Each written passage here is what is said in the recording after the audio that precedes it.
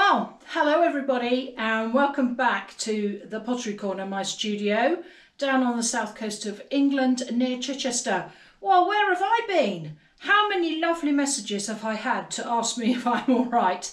So thank you. If that's you and you know who you are, there are quite a large number of people who have asked where on earth I've been for the last couple of months. So, in explanation, um, had an unexpected operation, so um, I've been recuperating um, and having a little bit of time not carrying around 12 and a half kilogram bags of clay. Um, and then, of course, we had Art Trail in uh, the end of April, so the studio was set up for Art Trail, so there were no students here.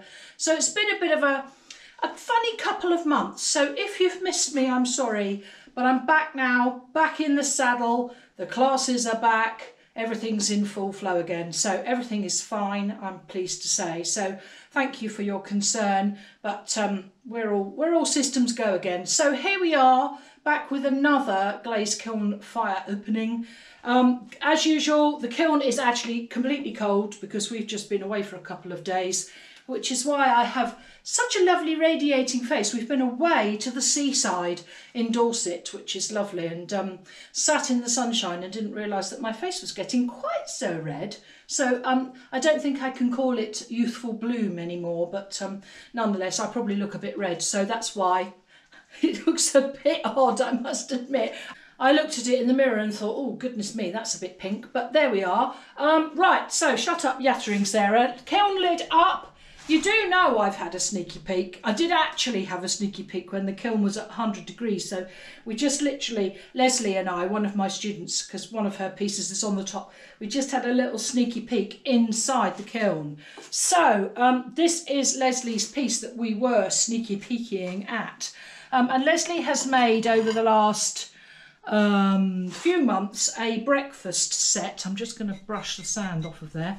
Um, a breakfast set. So she's made um, a toast rack with a marmalade pot in the shape of an orange and um, some jugs and some plates. Um, and one of the designs that she's um, done has been a homage to uh, Clarice Cliff, the Bizarre range. Those of you who are old enough will remember this. Isn't that lovely? What a thing to put your morning toast on. So that is a sort of a, a, a homage to Clarice Cliff, as I say. And if you've looked at her um, ceramics before, you'll know that she uses these bright yellows and bright oranges.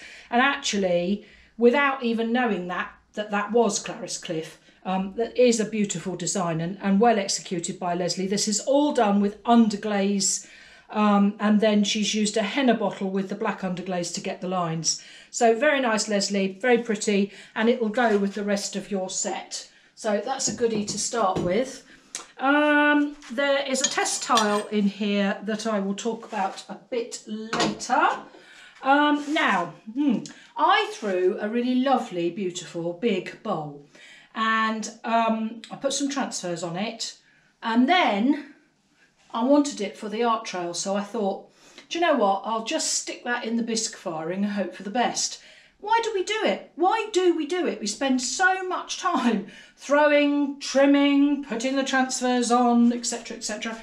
Put it in the bisque firing, and guess what? It wasn't dry. Well, of course it wasn't dry. I kind of knew it wasn't dry when I put it in, silly girl. Um, so, um, this beautiful bowl, which, um, as I say, I threw on the wheel, um, when it was bisque fired, it blew the bottom out, as you can see. And I thought to myself, it's such a shame because it's such a beautiful bowl and the transfers are really nice. Um, they are from, is it Ceramica? Ceramica transfers. I'll put the link in the description. Um, beautiful. I, I did cut them out, I must say. They didn't actually come like that, but I did cut them out to go around the circumference of the bowl. Um, and then I thought to myself, what am I going to do with that? Because it's too nice to, you know, chuck it in the recycle pot. So I thought I'd have a go at putting some glass in the bottom. Didn't really work. Not very successful, which is a real shame, as I say, because beautiful glaze on the back, which is um, Obsidian underneath that two coats, underneath two coats of Amaco's Indigo Float. And I love the way that blue comes out It is absolutely beautiful and it always comes out like that. So it's a really good doer. Um, but yeah, I didn't get away with it. So I've, I've lost the cost of the glaze and the glass, but it was worth a try, which is a real shame because it's such a pretty bowl. Have to make another one, as I always say. They're never quite the same though, are they? But there we are, that was me. Uh, right, let's just get rid of this shelf. Okay, so let's see what else we've got in here. Barbara, we're going to get rid of the props. Stick them up there, out of the way, so they don't damage anything. And we'll see what else we've got in here. Um, this is one of quite a number of little things that are going to come out, so I'll just pop that there. Um, huh. Now, Lisa has made a dish for her son with, that's the cookie that's come off the bottom, with the um, Alfa Romeo logo, um, his car is a Mito. Now, Lisa, I hope that I will see you before you see the video because we used Jessica Putnam Phillips cobblestone brush on um, and I have to say, it is ghastly. I mean, you know, there's not much you can say about it. It's pinholed. When we put it on, it was very thick and very claggy, and I think that's probably the problem. So what we might try and do is actually just put another glaze over the top and hope um, that we can do something about that. And um, that is Amaco's Iron, iron Yellow on the reverse. Um, but she's used um, some vinyl cutout and then we put some black slip over the logo and then the glaze over the top of that. But I have to say that's really nasty. So um, we will see what we're going to do with that. And I think the problem with Jessica Putnam Phillips's brush-on glazes um, is that the consistency isn't quite right. There is not um, a thing on the front that says how much water to add. Um, so I have sort of tried to sort of play it by ear, but I have to say that I think that this was too thick. It was much too thick when she was painting it on. So Lisa, we need to do something about that, I'm afraid. Um, we'll talk about glazes a bit later on. There's there's lots of people asking lots of questions about glazes. So um, once we've finished unloading, we'll have a little chat about that. Okay, so half shell. Okay, so the next thing out of this kiln apart from more props, is um, the other of Lesley's breakfast dishes. And this one is equally lovely, slightly different style. Um, this is glaze combination, so we've got just transparent over our stoneware. She's used a roundel of um, Amaco's Cobalt, which is the deep blue. This blue on the background, the sky blue, is um, Jessica Putnam Phillips's Chun Blue, and that is a really good doer. Uh, the sun is done in a yellow underglaze. Uh, the green, I think, is wasabi. That looks like iron yellow, and that looks like adventurine. Um, so she's just put a little sort of seasidey scene on there, landscapey scene, very pretty. Um, and with the other plate that matches her other bits and pieces, go together really nicely. The colours are good. So well done, Lesley. That's another good one. Um, they were just slab built plates using a template. Let me just get this half shelf out. There's so many bits and pieces in this kiln. I've got half shelves and all sorts. Right, so Cathy has been making some fish um, mobiles, I suppose you'd call them. So these are the heads and they're um they're sort of slightly glazed on the inside so I've had to sort of prop them slightly funnily. Um, so this is the top with his little fishy face on which is Amaco's Storm and then she's made if you like she's made scales that go down in size um, and again I shall have to take these props out once I've uh, finished videoing. So they sit one underneath the other and hang on a thread with a bead in between. So that one is um, Amaco's Downpour And that one is Amaco's Rainforest. Um, and as you can see, they're going down in size. There's actually two here. She's made one before, which was really pretty. So a couple of her friends said, oh, could you make me one? Always the way when you're a potter. That one's actually slid off. Oh, that's made a nice mess of my, uh, oops, that's made a nice mess of the shelf. Right, so that one has actually fallen off its stand, as you can see. Lovely, and uh, just, uh, I'll have to chip that off. It will come off, hopefully without breaking. That one is Blue Lagoon, and there are others, more, yet more, in the bottom. That one is Fog. I think that one goes there. So we've got Storm, Downpour, Rainforest, Blue Lagoon, Fog, Wasabi, next one down, Wasabi. I hope you can see these on the side. And then the bottom one is Glacier, Amaco's Glacier. These are all Amico Celadon glazes. And then the very bottom bit is a fishtail. So if you can imagine, they're stacked one on top of the other on a cord and it'll move in the wind. Lovely. She made, as I say, she made one before. Really very nice. So that's what they are. There's lots and lots of bits in the kiln of this. Loads of them. And actually quite good because you can fit them round all the other bits and pieces that are going in the kiln, which is quite useful. Get the rest of those out. That's rainforest again. Some of them are stuck and some of them aren't.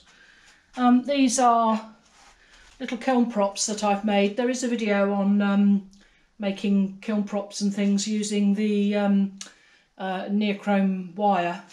They, they, the nichrome wire that I use is actually, um, when I changed the elements, I used the, the pins that were pinning the elements in. Um, and these are Cathy's as well. So she made some soap dishes. So the soap sits on here and then obviously the water drains from there rather nice. That one again is Blue Lagoon. Um, there is texture on there, but because Blue Lagoon is a um, a more opaque glaze, you can't actually see the texture, which is a bit of a shame. Um, so, you know, you've got to be aware if you're using Amaco Potter's Choice glazes that they will cover your texture if it's not deep enough or if the glaze is too thick. Um, the other one she has glazed much more successfully, in my opinion, with Amaco Pear and you can see the texture on this one because it hasn't covered it up because it's a Celadon glaze. Very nice. So they are they are very nice and she made her own template which is always good. So it's her unique design. Um, let's, move that slightly. Find the other fish tail. So there's the other tail. That's in pear, Amaco pear if I didn't say. Quite nice that Amaco pear. It's like a like a fresh green. Um, that is another test tile, which again I'll stick out the way. Uh, Janet has been making some thin slabbed vases um, and if I turn it round, oh dear, came through the bisque okay, but it has actually shredded itself right the way down here, I hope you can see that, um, and cracked right the way through the middle of a slab. I tell you what, sometimes you do wonder how the stresses and strains of clay will go in the kiln because there's no reason for that to have done that. Um, she's, she's a perfectly good um, slab builder, no reason why that will have done that, but there's obviously some stress in that slab that has gone in the glaze firing when it didn't go in the biscuit firing.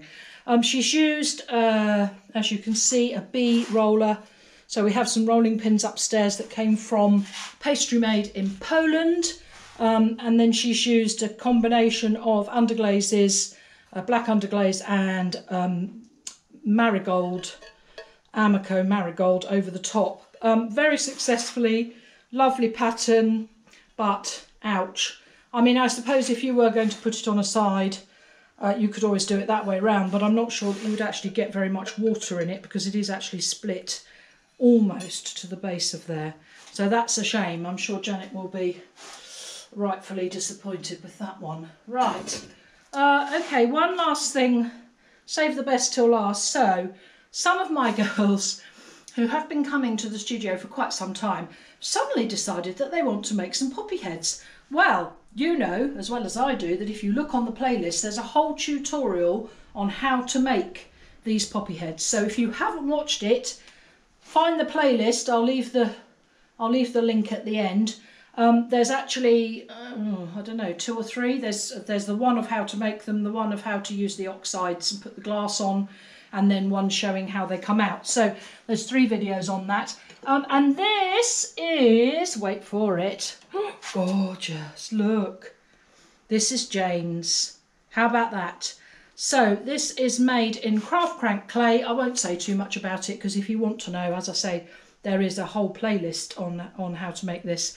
Um, craft crank clay with copper oxide, which is this sort of blacky bit, um, and then using um, bullseye frit, uh, mixing up the glass on the top.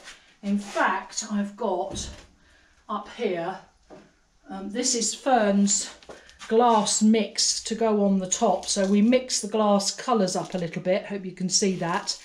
Um, so when when Fern's um, poppy head goes into the kiln, I will tip the glass onto the top so that it doesn't go everywhere. But back to Jane's. Yummy, yummy, yummy. She should be really proud of that. Lovely, lovely, lovely. And um, they're making some different size ones to make a set. So really very, very nice indeed. Lovely glass dripping. And luckily for me, um, I use these big cookies underneath them.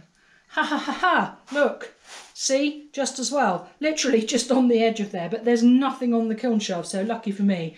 Um, so that's good. And that is all that is in the kiln for today. Let's pop this down. And we'll shut the kiln down. And uh, have a look at some of your messages. Right, so starting off with uh, glazes. So big discussions. Um, people have been sending me messages. Uh, Claire Williams being one of them, um, who comes from Bangor in North Wales. Hello, Claire, if you're watching. Um, sent me a message um, about the results that she was getting with Amaco Potter's Choice um, and said that she has her work fired in a community um, uh, pottery studio, but they only fire to 1200 degrees Celsius or centigrade. Um, and I think that's the reason why, Claire, you're not getting such good results from the Amaco glazes as we get in the studio here because I take my kiln up to 1230 degrees on a glaze firing. Um, so, I mean, it doesn't sound very much, 30 degrees, but it probably is enough for it not to be taking it quite high enough. And also, if it's a community pottery and, and they've used their kiln for a long, long, long time, it might be that the kiln's not even getting to 1200. So um, maybe there's something to be said for somebody putting some witness cones in there to see how high the kiln is going. Um, but I mean, obviously, when you're a hobby potter and you don't have anywhere to get your kiln work fired, it is difficult to sort of say to them what temperature it is that you need for your own glazes to go up to. But I would say 1200 is probably a bit low on a glaze firing. So I hope that answers your question. I have actually answered you on email a little while ago in more um, depth than that, but I just wanted to cover it here because it is something that people ask me a lot. So yeah, 1200 um, centigrade, not probably not enough. I take mine to 1230 and it has a 15 minute hold at the top temperature as well. So it's kind of dwelling at that temperature for 15 minutes. So I hope, Claire, that that might help you. Um, I also had a lovely message, um, and I and I love the um, I love the um, email address, which is Adam's Sausage. I don't know why, because she's called Lindsay. Hello, Lindsay. So Lindsay sent me a really lovely, lovely, lovely long message to say, I just wondered if you had access to a secret supply of Amaco. Oh, if only, Lindsay. We are all in the same boat with these Amaco glazes, aren't we? Um, I mean, obviously running the studio, um, I use Amaco glazes for the students' benefit. Um, and I do have almost all of them. There's probably five I haven't got, Potter's Choice, um, and they're the brown ones. Not much of a brown girl, me, so I don't like Shino and I don't like the old oil spot, and I don't like Albany, whatever it is. Um, so yes, we are all having trouble getting hold of Amaco glazes. So I do not have a magic wand that says this is where to go and get your Amaco glazes, I'm afraid. I, I wish I did. Um, I am finding that I am trying to replace some of the Amaco glazes that I just cannot get hold of, Sky being one of them. Um, and as I was saying earlier about this lovely plate of Lesley's, that the Jess's brush on Chun Blue, it's not the same as Sky, but it's not bad. Um, so we have slightly um, brought this one in when I can't get hold of a colour that I want. Um, but as I said earlier, Jess's, Jess, Jessica Putnam Phillips glazes, the brush on ones, hmm, I, I, jury's out for her glazes for me really, but it's a case of having to use them because of the supply of Amaco. Now, um, I did buy myself, and, and I didn't actually know that these existed, so that just shows that I haven't looked far enough. Um, that there were Amaco glazes that were not Potter's Choice or Celadon glazes. So basically what we use in the studio is Amaco Potter's Choice and Amaco Celadon glazes. Um, but there appears to be other um, ranges in the Amaco glazes. So I thought that I would give them a go. Now, so this is Celebration Liquid Glazes, uh, High Fire uh, number 129, Baby Blue. Um, and actually, it's nice. It's, it's very opaque, um, but I'm going to give it a go layering it with my Potter's Choice glazes to see what happens to it. It almost gives you the coverage of a slip coverage, um, but nonetheless nice colour and again as I was saying earlier if you can't get hold of a particular colour we've got to go somewhere haven't we so uh, that one as I say is a celebration liquid glaze um, this one is a matte glaze um, I'm not overly keen on matte glazes but the students like to use them um, and that one is a Sahara liquid glaze again by Amaco and again, it's one that I didn't know that they did. So um, this is a Sahara liquid glaze, again, high fire, um, and that one is called turquoise. And actually that is a nice matte, proper turquoise glaze. And I think having um, used the Potter's Choice, there isn't really a proper turquoise in the Potter's Choice range. So that one is really nice. Um, and I got them from, now, where did I get them from? I think they came from Potclays. Um, so, I mean, in England, we use Scarva, um, Blue Matchbox. Um, uh, there's one in, in Stoke-on-Trent that I use that I can't remember the name of. Uh, Bath Potters. There's there are a number, but to be fair, they're all having issues with um, getting hold of Amaco. So I think that it is definitely a knock-on effect from the COVID situation with the tanker um, containers being in the wrong place at the wrong time and also a raw materials problem. So if anybody has any bright ideas about how to get hold of Amaco glazes, please share it with us as a group because we're all um, suffering slightly. But I must say, I was quite pleased with those. And as I do some more test tiles, I'll let you know how they layer with the other glazes. So um, that's that. Now, a few shout outs to people who have actually had a go at the tutorials that are on the channel. So, first one, Ellen, Ellen, I'm going to get your name wrong, Kalowski has had a go at making the poppy heads, um, similar to this one from the tutorial that we were talking about earlier. Um, so this is Ellen's poppy head. Lovely, lovely. She's in Florida in the United States. Um, looks like she's made two actually because there's a different one on the back. Hope you can see that. So well done, Ellen. That's always lovely to see um, other people's take on that project. So if you make the poppy heads, please send me a picture. Link to my website is in the description below. This one is from Maria Gracia Tassi. She's had a go at the um, monoprinting and using the wonky pot technique. So this is a mug by the looks of it, hand built um, with a lovely monoprinted um, pattern on it. Really nice, Maria. Thank you for sending me that. You're in Italy, so thank you for watching all the way from there. Uh, this one is from Eliza from the Netherlands. Um, and again, she's had a go at the monoprinting. Thank you for sending me those. So she's made a slab with the monoprinting and then made some little dishes. So those are really lovely. Again, really lovely texture on there and has used the um, Satsuma netting or similar um, and that gives a really good effect. And again, there's a playlist on the channel on monoprinting. There's one on preparation, one on um, making the slab with all the bits and pieces and then one on how they came out.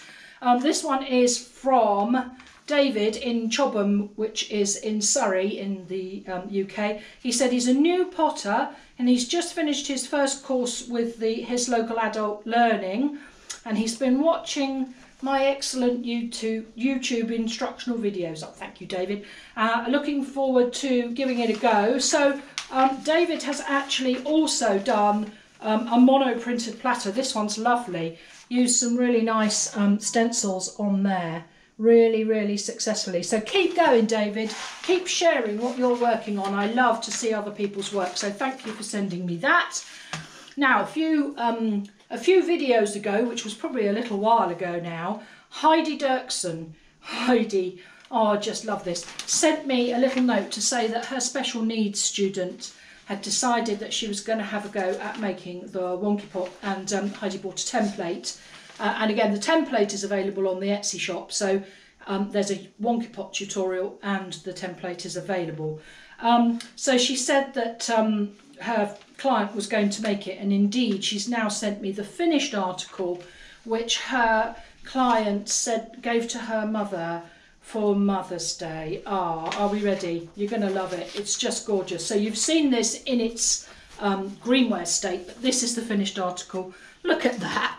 I mean, it's just absolutely wonderful. Heidi, thank you so much for sending the finished piece through. So that one's the cat, and the one over the page, which, which I probably like even more, is this little owl. Look at him. Isn't he cute? Look at his little feet with his little owl feet and beautiful colour, lovely. So Heidi, thank you so much for sending me that. Really, really nice. That's always much appreciated by me. Um, I'm going to quickly do Student of the Week. Da, da, da, da. I haven't done Student of the Week for a while.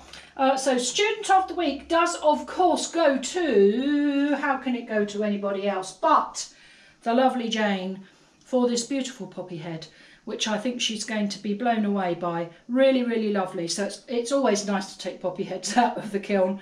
Something that, you know, I like to make and um, it's nice when the students make them as well. So well done, Jane. That's lovely. Uh, now, what else to say? Um, thank you for watching. As always, thank you for your concern about my absence.